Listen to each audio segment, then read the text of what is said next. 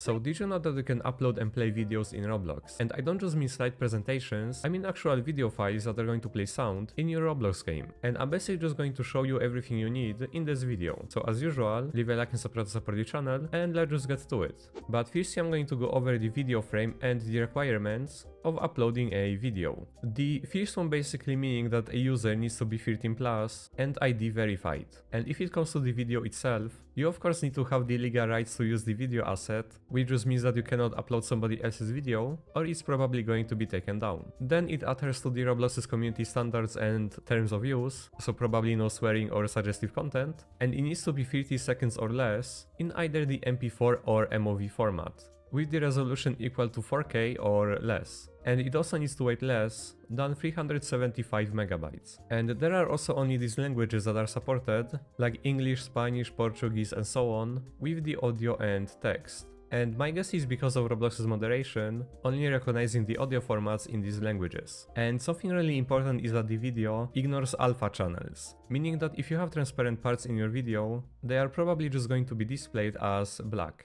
And you of course have a 2000 Robux fee whenever you upload a video, so this tutorial is going to be kind of expensive for me. But anyway, you can also upload only 3 videos a month, or rather with a 30 day period, which just starts from the first date of your first video upload.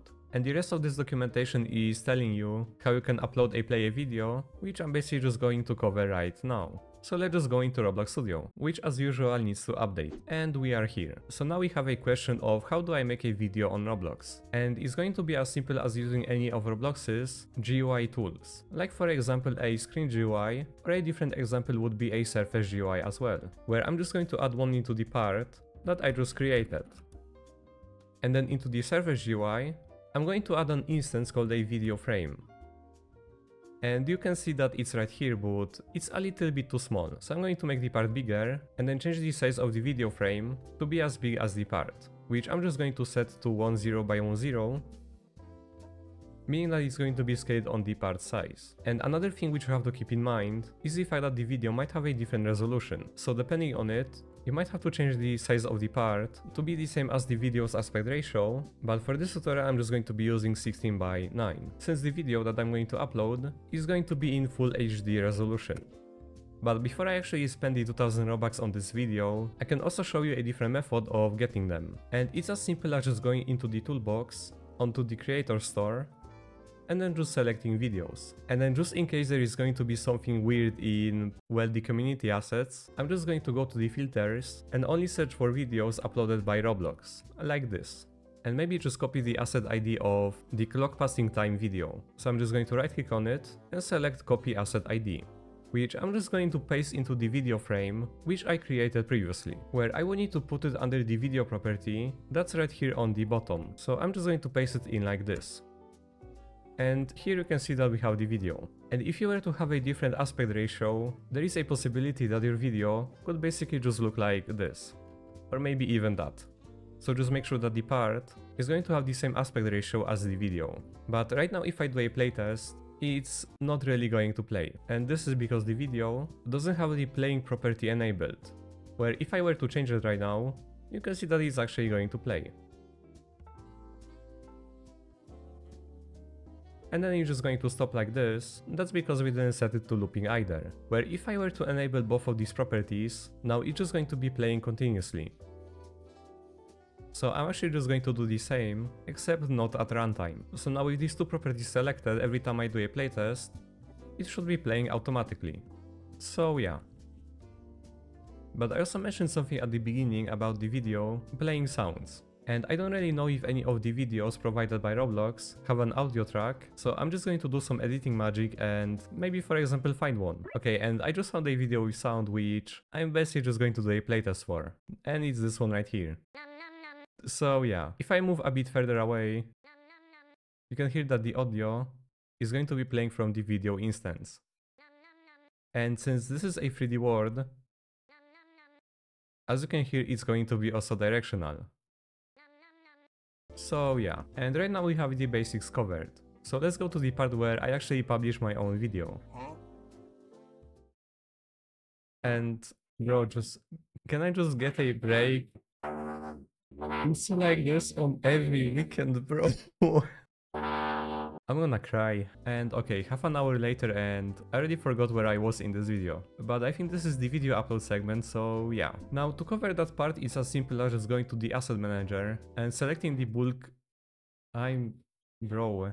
Going back for the 20th time, you just have to select the bulk import and then navigate to your MP4 or MOV file, which I'm just going to do right now. And for some reason the option isn't even here, so give me a minute again. And it just turns out that something might be a little bit wrong in the documentation here, so what you want to do is go to the creator dashboard. And after you press on this link, it's going to take you straight to the creations page, where you are going to have an option to upload a video, which I'm just going to do. And here you have all of the previous informations, but I'm just going to press on upload. And I just took a snippet from my previous tutorial on the stylized trees, where I'm just going to say that this is a snippet of a video tutorial in Roblox Studio. And then I'm going to hit the most expensive upload button of 2000 Robux. Are you sure you want to continue uploading? I'm pretty certain I don't. But anyway, I swear, if I just pay 2000 Robux to get my account moderated for no reason, I'm going to cry. And it brought me back to this page, but I'm not really able to see the video. So I'm just going to check my inventory in Studio. Okay, and it's right here. So I'm just going to press on the copy asset ID and try replacing the video property. And well, it's right here, so I'm just going to do a playtest and why you should be using a sphere. Because this model right here, it used a sphere as the vertex But this guy is pretty boring. this one used a cube. And if I just pull them together, Could even watch you these can see that the shading is way different. And the same goes for this tree in comparison with this one. And why you should be using a sphere. But well anyways, right here we have a video of me doing a Roblox Studio tutorial in Roblox Studio itself. So yeah, I also wanted to show you how to modify different properties and use different events through scripting and do different stuff like for example adding a UI drag detector since this is again a GUI instance, which is basically just going to allow me to drag it like this. And I could even be adding like a border and basically do all of the different stuff that I would be able to do with all of the other UI elements. But yeah, again, since I kind of ran out of time, here is a quick preview of the video frame documentation, which covers all of the different stuff like the 2D and 3D sound, playing the audio through scripting where you will need to wait for it to load since the script might run before, the video itself is actually going to be loaded. And same goes for all of the different properties like is looped playing, resolution, time length and stuff from GUI objects.